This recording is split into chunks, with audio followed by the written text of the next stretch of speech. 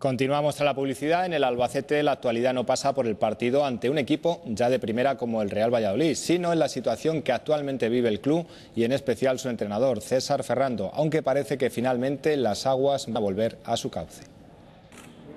El Consejo no ha decidido todavía si abre un expediente a Ferrando por sus declaraciones del martes, aunque el director deportivo Máximo Hernández ha dejado entrever que no. César ha estado muy, muy metido en el tema y ha estado muy positivo con todos y yo creo que a veces las palabras se las lleva el viento y en este caso yo creo que las tiene que llevar porque, porque lo que hace falta es ser moderados y convincentes en lo que se ha tratado ahí. De cualquier manera, Ferrando cuenta con el apoyo total de los jugadores.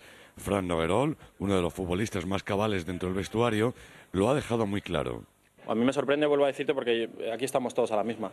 Y no es portavoz él ni es eh, los capitanes, aquí todos pensamos lo mismo. Me sorprendería, sí, me sorprendería, si te digo la verdad. Si es que es cierta esa información, que no dudo de ti, me sorprendería mucho. pero bueno, oye, vamos a dejar pasar. Yo creo que hay cosas bastante más importantes ahora que las polémicas, que si portavoces, no portavoces. Aquí lo preocupante es la situación del club. Y hay que centrarse un poco en eso. Ha habido un cambio de un mes para aquí y, y hay que arreglar esta situación.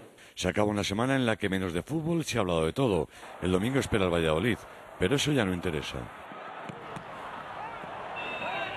Uno de los porteros del Albacete, Javi Martínez, junto al talaverano Ángel Bernabé, las filas del Atlético de Madrid, serán los dos representantes castellano-manchegos en el próximo Mundial Sub-20 de Canadá, que tendrá lugar del 30 de junio al 22 de julio. Los dos guardametas se jugarán el puesto con el madridista Adán.